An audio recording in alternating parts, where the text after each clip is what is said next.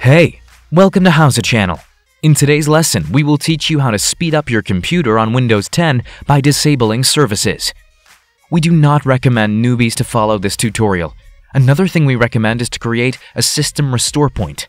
We will leave a link for a corresponding video in the description box below.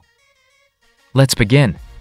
Open a web browser and paste the link you can find in the description box below. Open a web page. We need to download Easy Service Optimizer app. Scroll down the page and click on Download. Set the path and save the file.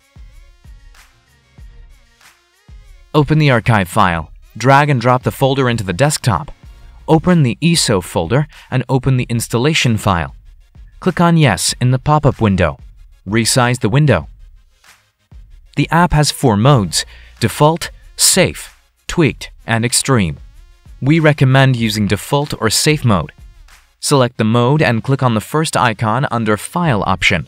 The app automatically will disable unnecessary services. Close the app when it's done. Another available option is to shut down unnecessary services manually. Right-click on the Windows icon at the bottom left corner, select Computer Management from the list. Click on Services and Applications in the new window. Click on the Services, go to Standard tab. To disable a service, double-click on it. Set Startup Type to Disabled. Click on Stop under Running. Wait until done.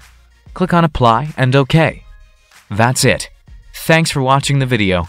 Please like it and let us know if you use any of our tips and tricks. Subscribe to our channel.